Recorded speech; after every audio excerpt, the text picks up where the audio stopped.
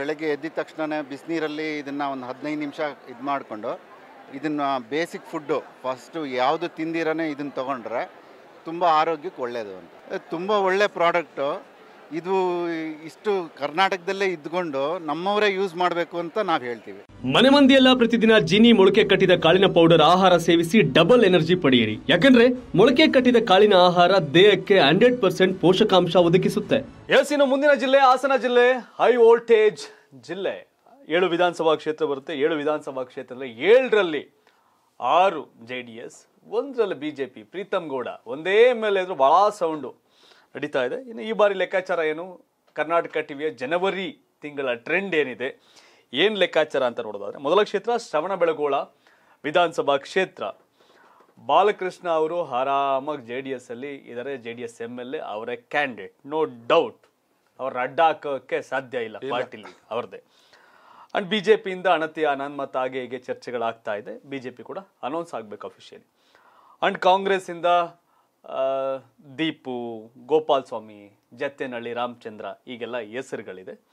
And ಇಲ್ಲೇನು ಅಂತಂದ್ರೆ ಕಾಂಗ್ರೆಸ್ ಇನ್ನು ಟಿಕೆಟ್ ಫೈನಲ್ ಆಗಿಲ್ಲ. ಒಬ್ಬೊಬ್ರು ಒಬ್ಬೊಬ್ರು ನಿಡ್ಕೊಂಡು. ಹೌದು. ದೀಪು ಡೆಲ್ಲಿಗೆ ಹೋಗಿ ಕುತ್ಕೊಂಡು ನಮ್ಮ ನಮಗೆ ಪ್ರಿಯಾಂಕರ್ಗೆ ಆಪ್ತ ಅವ್ರ ಜೊತೆ ಬಿಸ್ನೆಸ್ ಲೆಕ್ಕಾಚಾರ ಡೆಲ್ಲಿ ಖರ್ಗೆ ಅವರು ಅಧ್ಯಕ್ಷರಾದಾಗ ಎ ಸಿ ಸಿ ಎಲ್ಲ ಹೋಗಿ ಬಂದಿದ್ದು. ಗೋಪಾಲ್ ಸ್ವಾಮಿ ನಾನು ಎಂ ಎಲ್ ಎ ಆಗಬೇಕು ಅಂತಾನೆ ಎಂ ಎಲ್ ಸಿ ಕಂಟೆಸ್ಟ್ ಮಾಡಿಲ್ಲ. ನಂಗೆ ಡಿ ಕೆ ನನ್ನ ನನಗೆ ಸಪೋರ್ಟ್ ಇದೆ. ಅನ್ನೋದು ಅವ್ರ ಲೆಕ್ಕಾಚಾರ. ಈ ಥರ ನಡೀತಾ ಇದೆ. ಜತ್ತಿರಳ್ಳಿ ರಾಮಚಂದ್ರ ನಮ್ದೇ ಇಲ್ಲ ನಾನು ಚುನಾವಣೆ ಮಾಡೇ ಮಾಡ್ತೀನಿ ನನಗೂ ಬೇಕು ಅನ್ನೋದು ನಡೀತಾ ಇದೆ. ಹೀಗಾಗಿ ಕಾಂಗ್ರೆಸ್ ಅಲ್ಲಿ ಗೊಂದಲ. ಟಿಕೆಟ್ ಅನೌನ್ಸ್ ಆಗುವವರೆಗೂ ಇದು ಕಂಟಿನ್ಯೂ ಆಗತ್ತೆ. ಹೌದು. ಅದು ಯಾರಿಗಾರ ಆಗ್ಬೋದು.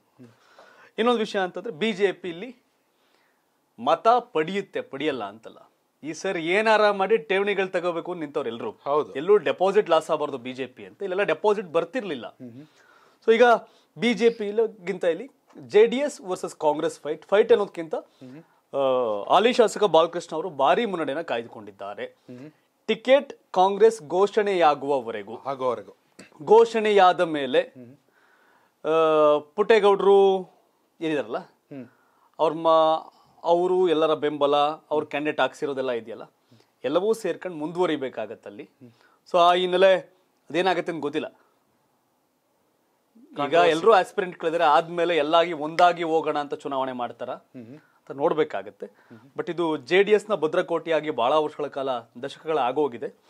ಸೊ ಇದನ್ನ ಯಾರು ಡಿಸ್ಟರ್ಬ್ ಮಾಡ್ಲಿಕ್ಕೆ ಸಾಧ್ಯ ಆಗಿಲ್ಲ.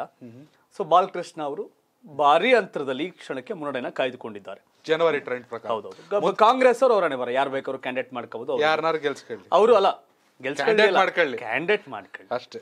ಏನು ಶ್ರವಣ ಬೆಳಗೊಳ ಮತ್ತೆ ಒಳೆನರಸೀಪುರ. ಹೌದು. ಜೆ ಡಿ ಎಸ್ ಈಗಲೇ ಬೇಕಾದ್ರೆ ಗೆಲುವಿನ ಬಾವುಟ ಹರ್ಸ್ಕೊಂಡು ಸಂಭ್ರಮಾಚರಣೆ ಮಾಡ್ಕೋಬೋದು. ಸಮಸ್ಯೆ ಏನಿಲ್ಲ. ನಡೀತದೆ.